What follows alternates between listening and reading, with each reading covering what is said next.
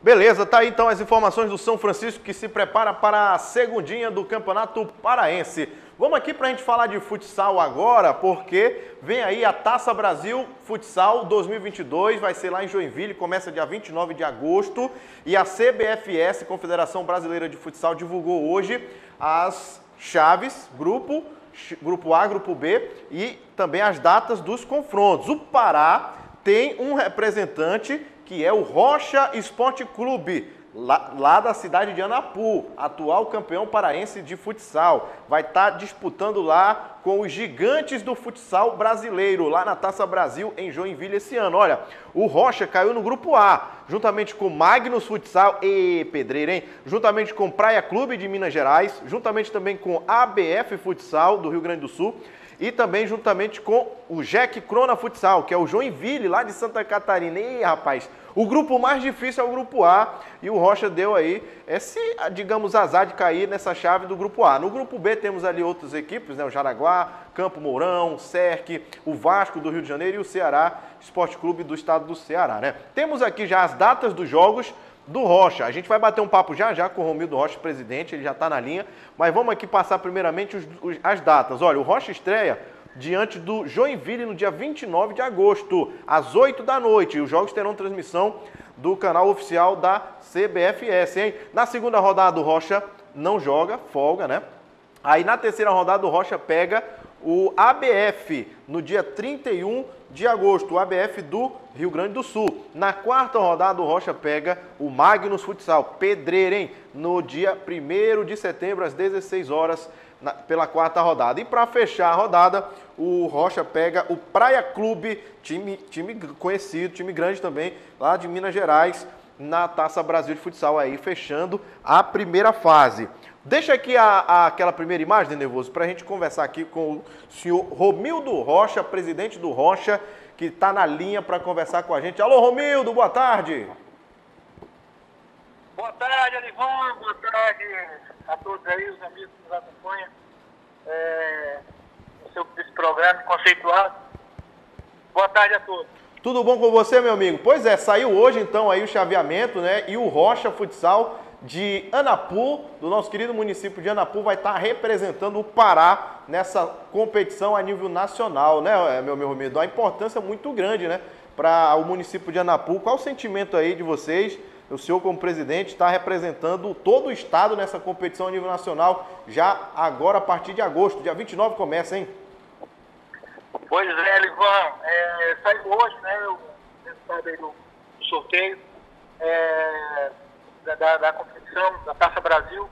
A gente já havia uma expectativa uh, grande sobre essa, essa competição e não é diferente, né? A partir de quando é, se, se, consolida e já, já dá essa, esse pontapé para início da competição, é, cresce mais a expectativa. E hoje já saiu a, tabela, inclusive a gente ficou aí num, num grupo denominado aí Grupo da Morte, que eu acredito que são as melhores equipes do futsal Verdade. nacional hoje, né? E Verdade. a gente vai estar compondo esse, esse grupo aí. E a gente vai tentar, da melhor maneira possível, é, representando a nossa região norte, toda a nossa região norte, nosso estado do Pará, está fazendo um, um, bom futsal e jogando da melhor maneira possível para estar tá representando bem e sair de lá com um resultado positivo para a nossa região. A gente sabe que independente de, de ganhar ou não a competição, mas a gente fazer uma boa representação, é, a gente chegar onde a gente já chegou, para a gente é uma grande vitória. Não é verdade? É verdade, então, a gente vai lá e vamos contar com a torcida da, todos nós aqui, da nossa região, das nossas cidades aí, que vai estar acompanhando, não é verdade? Com certeza vamos estar todo mundo na torcida, todo o estado do Pará na torcida, toda a região norte aí na torcida pelo Rocha. Agora, Romildo, me fala um pouquinho sobre o planejamento, porque começa dia 29 de agosto, né? Já estamos aí há pouco mais de 30 dias, né? Como é que vai ser para reunir o elenco? Vai manter a base, que foi campeão do Paraense do ano passado? Tem previsão de chegada de reforço, porque a gente sabe o nível lá é um pouco mais alto, né? Como é que está essa questão do planejamento? Pois é, Livon, é, a, a base, é, obrigatoriamente, a gente precisa manter a base, uma base forte, né? Que, que tem um entrosamento, que já, já participou da, competição com a gente no ano passado. Então, essa base a gente vai manter. E aí a gente precisa trazer, já, tá, já estamos trazendo aí alguns reforços é, da região norte aqui, dos outros, das outras equipes é, fortes também que, que compõem a nossa, nosso estado e nossa região, para estar reforçando a equipe nessa Taça Brasil. A gente sabe que lá não vai ser, não vai ser fácil, né? É, é, o, é, o, é o centro do futsal. É, nós estamos indo para lá onde as, as, maiores equipes de futsal vai estar, vai estar participando dessa competição.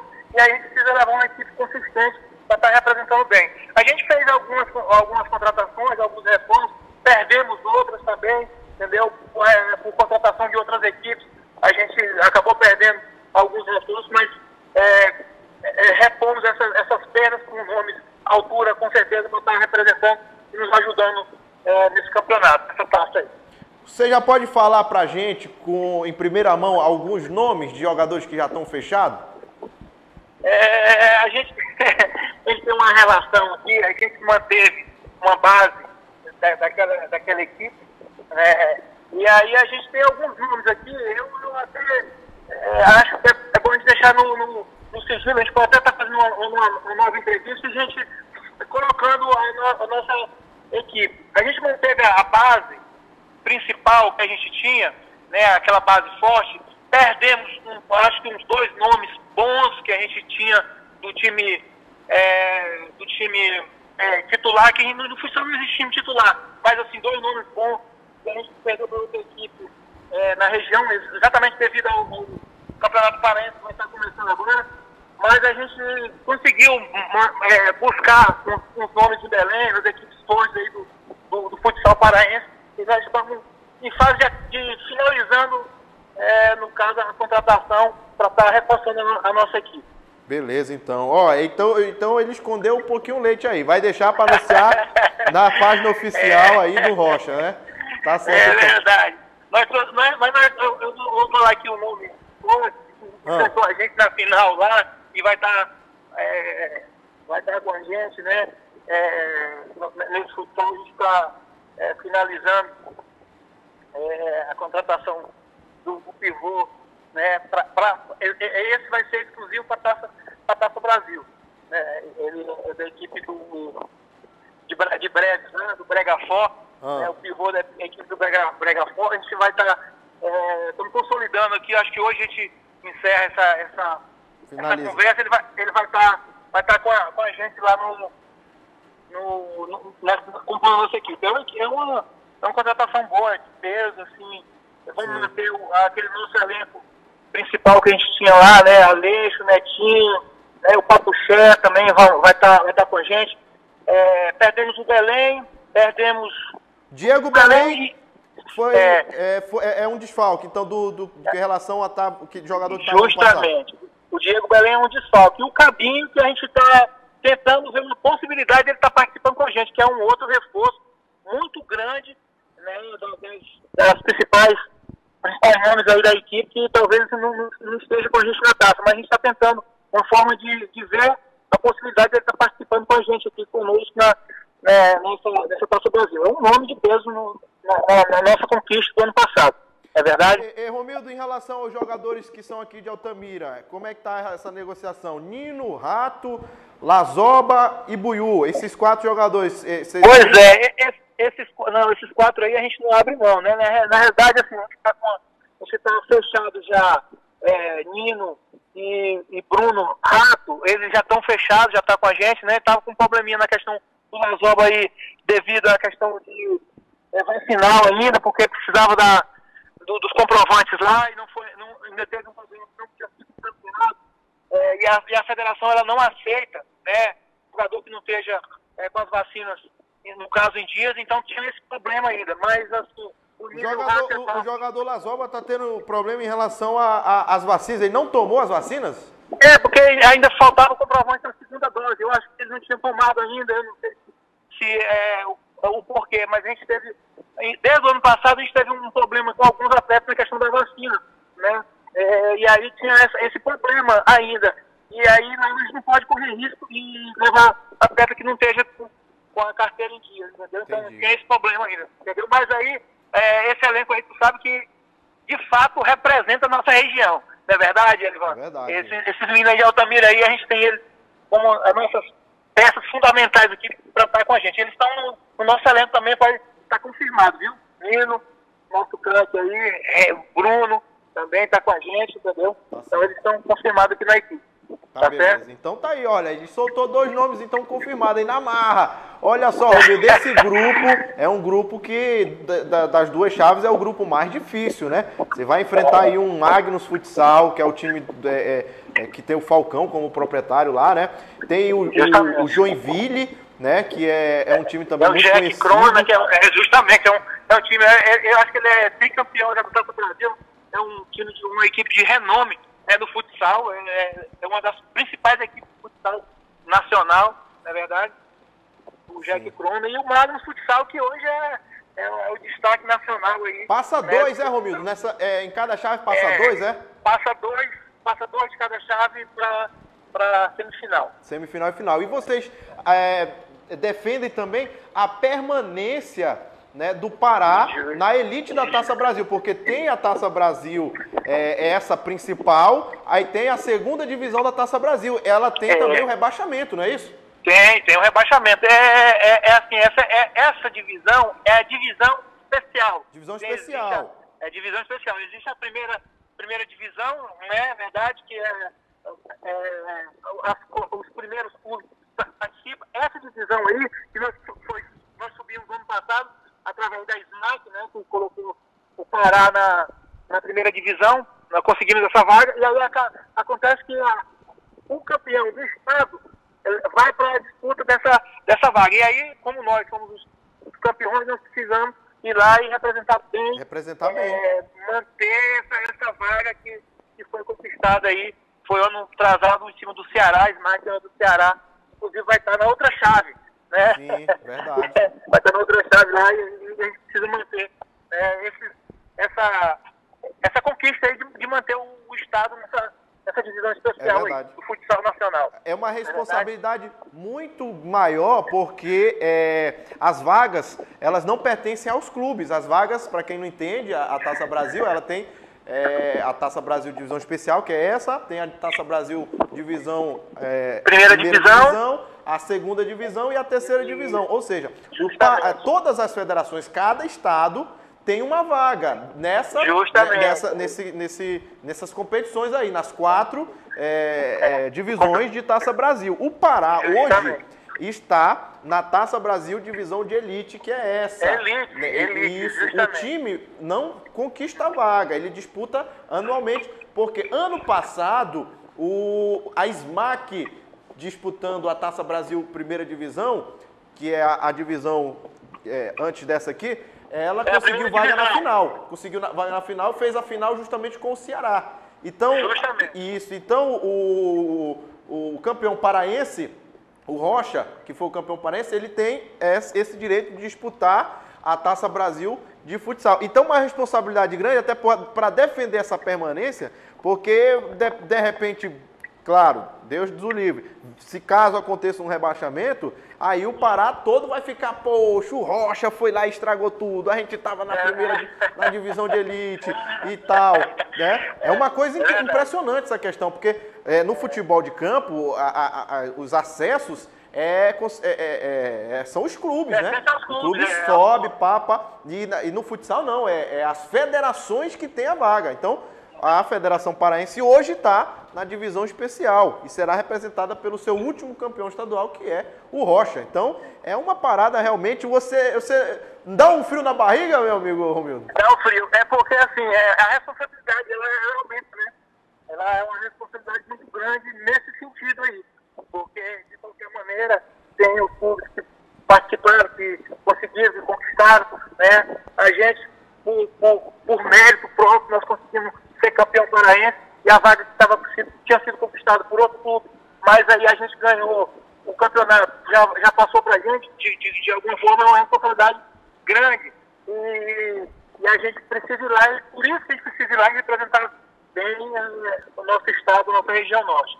Beleza, tá aí. Então, tá aí. Romildo Rocha, olha, são apenas 10 times, 10 é, federações sendo representadas pelos seus é, campeão, campeões estaduais aí. Né? Tem muito estado que gostaria muito de estar com uma vaguinha é. na divisão especial, mas não tem. É. Né? Muito estado grande, mas não tem. E o Pará está lá, né? É. é. depois de um trabalho muito bem feito de vários anos atrás, e agora o Rocha tem essa responsabilidade. Então a gente deseja muito boa sorte e assim que é. iniciar as atividades, que eu creio que já vai ser em breve, a gente está aqui se colocando à disposição para ir até o município de Anapu, fazer a cobertura da apresentação, do primeiro treino, até porque agora vai se iniciar um período de treinos de muita intensidade. De treinamento, é, justamente. A gente tem, a gente tem praticamente um mês é, que antecede, na verdade, essa, essa competição. É, eu queria aqui já falar um pouco da questão de a gente às vezes ainda, ainda nós não, não, não, conseguimos, as pessoas não conseguem acreditar é, na, questão do futsal, do esporte, né?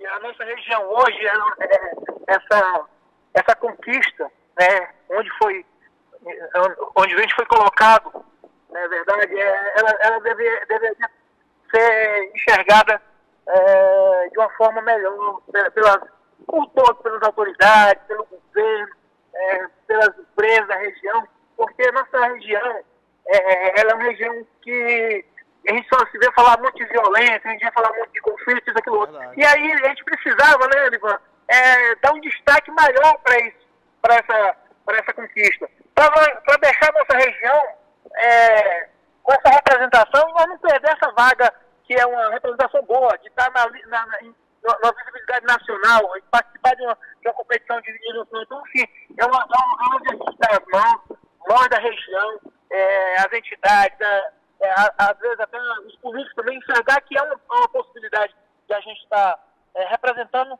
de uma forma boa a nossa região, o nosso estado. E aí e fica aí esse, essa cutucada né, para as pessoas enxergarem que a, o esporte ele é educação, ele é, é integração. E é, é, é uma coisa boa para a nossa região é, deixar esse, esse legado aí e não perder né, vaga aí para nós seria importantíssimo. E a gente conta com todo mundo nesse momento. É um tá momento de preparação tá e a gente.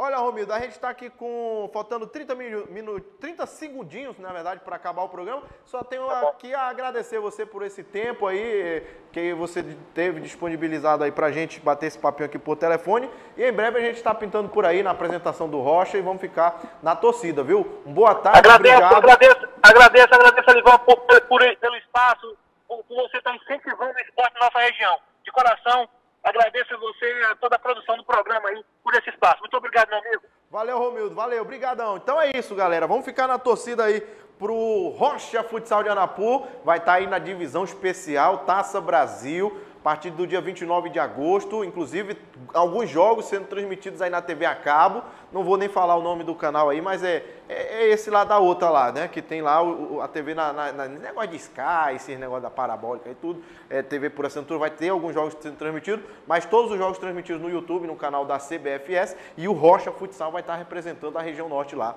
E a gente vai ficar na torcida, beleza? Agradecendo demais a sua audiência, não há tempo para mais nada. Perdeu alguma coisa, vai no YouTube, o programa está na íntegra lá para você acompanhar. A gente volta amanhã com mais um Os Donos da Bola. Aquele abraço, tchau! Os Donos da Bola, oferecimento. Primavera Supermercados, sempre com você. Max Saúde, credibilidade em diagnóstico. Move provedor de internet. Entre nesse movimento. E remodelar tudo para sua construção.